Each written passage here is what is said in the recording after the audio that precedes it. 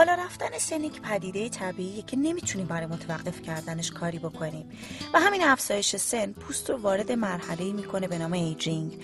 در نتیجه کم کم خطوطی روی صورت به خصوص در نواحی اخم پیشونی دور چشم اطراف لب و دهان ظاهر میشه. همین خطوط می‌تونن چهره شما رو مسنتر نشون بدن. شاید نتونین جلوی بالا رفتن سنتون رو بگیرین.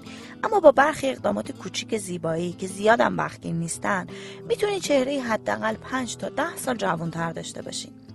یکی از خطوطی که تاثیر بسزایی توی چهره داره خطوط خنده است که سال به سال هم متاسفانه عمیق‌تر میشه.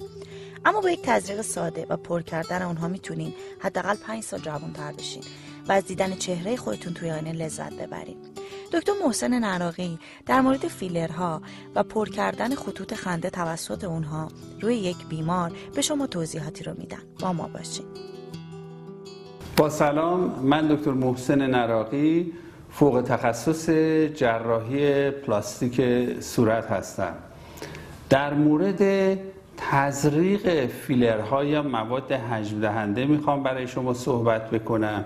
به طور کلی با افزایش سن بر اثر عوامل محیطی که کلاژن رو تو پوست صورت ضعیف می‌کنن و اثر جاذبه به تدریج خطوطی در روی چهره ایجاد میشه که یکی از مهمترین اینها که امروز من می‌خوام حالا یکی نمونه عملیش هم خدمت شما نشون بدم خطوط خنده یا خطوط دور لب هست که وقتی که این خطوط از یک حدی عمیقتر بشه این باعث میشه که سن فرد رو بیش از حد واقعی خودش نشون بده و در بعضی از افراد با اینکه اینها خیلی جوان هستن عمیق شدن این خطوط باعث میشه که به طور کاذب سن اونها رو بالاتر نشون بده. نکته مهم در تزریق فیلرها این هست که اولا ماده که ما تزریق می‌کنیم باید کاملا طبیعی و سازگار با بافت بدن باشه. به همین خاطر به هیچ وجه از فیلرهای دائمی که غیر طبیعی هستن استفاده نمی کنیم فیلرهایی که استفاده می کنیم همیشه فیلرهای موقتی هستن که برای بدن ضرر نداشته باشن. و دوم این هست که نحوه تزریق خیلی مهم هست. کسی که این کار رو انجام میده باید آشنایی دقیقی با آناتومی این ناحیه داشته باشه. بیشترین جایی که ما تزریق می‌کنیم برای این خطوط خنده و خطوط دور لب هست. گاهی وقتا در افرادی در سنین بالاتر خطوطی کنار لب پایین ایجاد میشه که برای اینها تزریق می‌کنیم. یا فرو رفتگی هایی در دو طرف فک ایجاد میشه تزریق می‌کنیم. گاهی وقتا برای حجم دادن لب ها گاهی وقتا برای تغییر شکل بینی از اینها استفاده می کنیم و گاهی هم برای حجم دادن گونه ها حالا الان من میرم سر بیمار اول بیهسی رو شروع می کنم با مراحلی که توضیح خواهم داد و بعد از بیهس کردن منطقه اون نحوه انجام تزریق فیلر رو خدمتون نشون میدم. بیهسی رو برای تزریق دور لب ما در سه مرحله انجام میدیم. یه مرحله خب کرم بیهس کننده ای است که اینجا زده میشه. مرحله دوم کرمی هست که در داخل زده میشه و مرحله سوم بیهسی که خیلی مهم هست تزریقی هست که عصبی که میاد به اینجاها عصب دهی می‌کنه ما این عصب رو به طور کامل بلاک می‌کنیم یعنی بیهس می‌کنیم. در نتیجه فرد دیگه هیچ حسی در این ناحیه نخواهد داشت. چون یه عصبی هست که از زیر چشم میاد و حس این نواحی رو میده. و برای اینکه این کار انجام من بدم اینجا این آمپول بیهسی هست و زیر لب آروم. مقداری از اینو اینجا تزریق می‌کنم. این بیمار خیلی راحت. مقداری هم اینجا تزریق می‌کنم درست در همون نقطه ای که عصب رد میشه. الان احساس بیهسی می‌کنیم کاملا بیهسته این برم بیهسته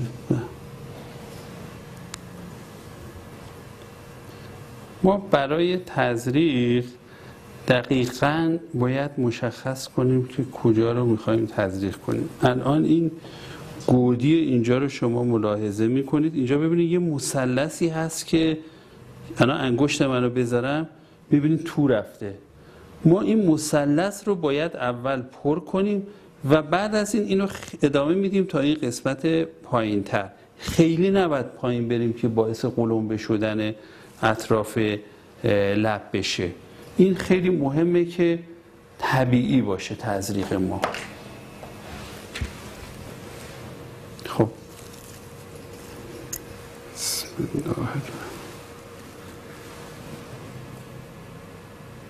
خیلی راحت.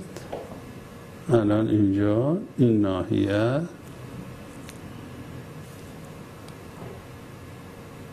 تزریق انجام میشه.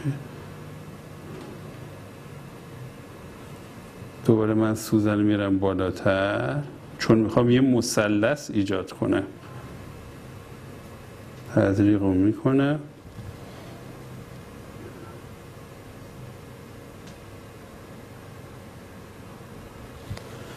بعد از اینکه این تزریق رو کردم یه ماساژ مختصر و اینو می‌ذارم اینجا. شما همین الان نگاه کردید که زیر چشم چجوری این اومد بالا.